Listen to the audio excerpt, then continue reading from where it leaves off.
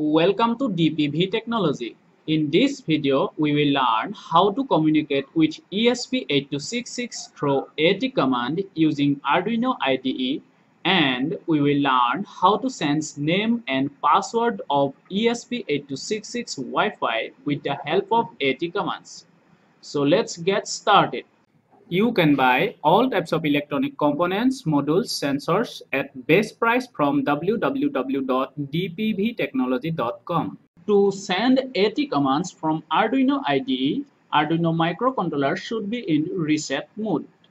Because to send AT command, we only use the Arduino IDE software, not the Arduino microcontroller. So to set the microcontroller at reset mode, we have to connect the reset pin of the Arduino to ground pin of the Arduino. Here is our connection diagram. We have to connect the RX pin of the ESP to RX pin of the Arduino. Then TX pin of the ESP to TX pin of the Arduino. Then we have to connect the ground pin of the ESP to ground pin of the Arduino. Then we have to connect this CHPD pin of the ESP to 3.3 volt pin of the Arduino. Again, we have to connect this VCC pin to 3.3 volt pin of Arduino. In some cases, during transmission of data, the ESP8266 may require more current. So if it requires more current, then we have to connect this VCC pin of the ESP8266 to external 3.3 volt power supply not to this 3.3 volt power supply or the, of the Arduino because this 3.3 volt power supply of the Arduino cannot provide sufficient current to this ESP8266. So we have to connect this VCC pin to 3.3 volt power supply that is externally which can provide sufficient amount of current to this ESP8266 module. At last, we have to connect this reset pin of the Arduino to ground pin of the Arduino to keep this microcontroller as reset mode. So here is our connections. Uh, this is the VCC pin that is connected to 3.3 volt pin of Arduino. This is uh, RX pin connected to RX pin of Arduino. Uh, this one is CHPD that is connected to 3.3 volt of Arduino. Uh, this one is a TX pin that is connected to TX pin of Arduino. And uh, this one is a ground pin that is connected to ground pin of Arduino. Here is the reset pin that is connected to ground pin of Arduino. Now connect your Arduino board to your PC through your Arduino USB cable. Now open your Arduino IDE software, then go to File, then go to New and click on New. After that, we have to upload this blank sketch. Before uploading this blank sketch, we have to remove these TX and RX wires from the Arduino and also this reset wire. Then we have to upload this. After uploading this code, we have to again connect this RX and TX wires and also this reset pin. So here we can see it is uploaded, done uploading. Now we have to connect these wires again. So we have connected it now go to your Arduino serial monitor here.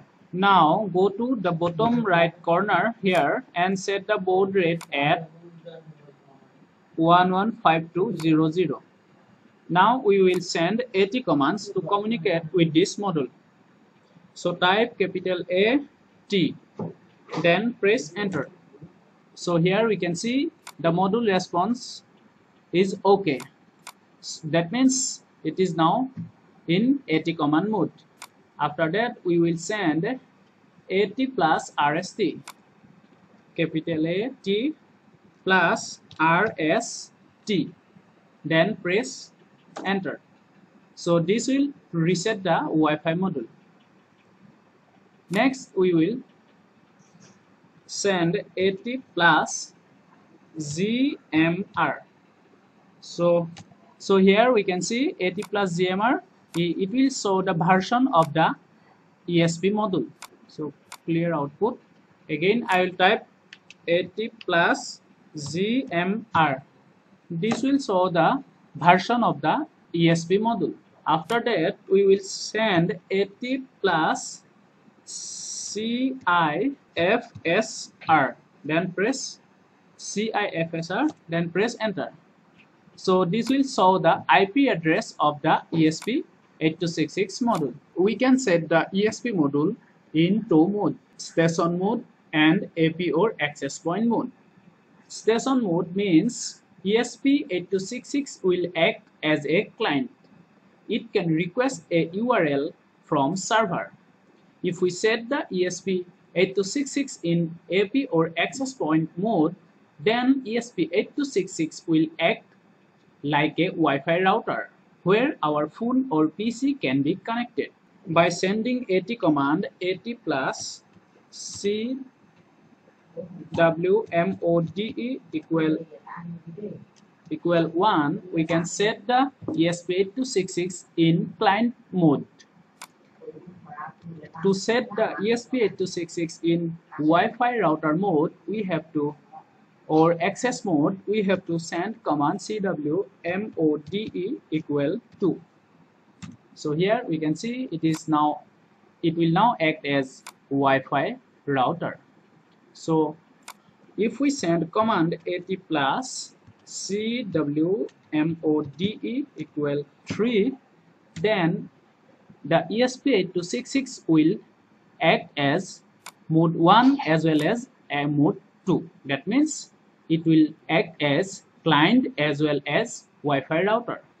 Now we will set the SSID that is the name of the ESP8266 and the password by sending command CWSAP then question mark then press enter. So we can see the default name is ESP and password is password for this ESP8266 for my ESP8266 now I want to sense this SSID or name and this password.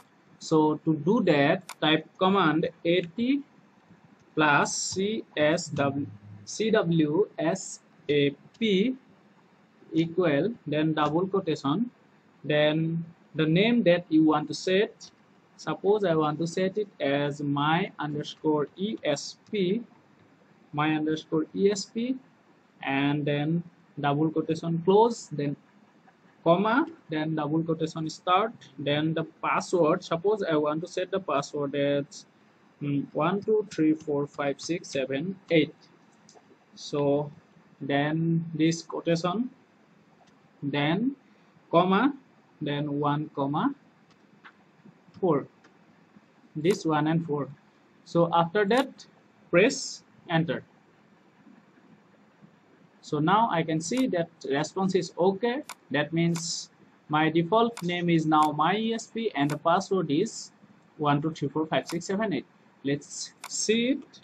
AT plus CWSAP then question mark then enter. So here we can see the name is MyESP and the password is 1234567 now it should be noted that in most of the cases this password must be equal or more than 8 character long. Otherwise you will get error. Now let us see whether that password will work or not. First go to your wi then I can see this is the name my ESP then here password. So password was 1 2 3 4 5 6 7 8 so now join so we can see it is connected here you can buy all types of electronic components, modules, sensors at best price from www.dpvtechnology.com. So thank you for watching.